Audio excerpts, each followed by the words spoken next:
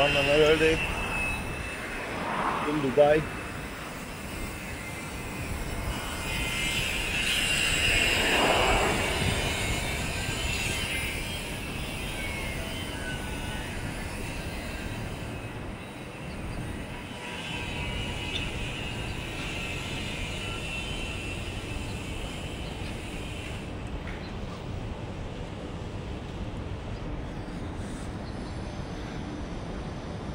Marina View Towers,